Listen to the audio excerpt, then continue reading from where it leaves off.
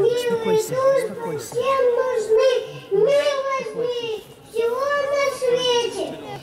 Там, где Пушкин, на земле, где нет войны, в небе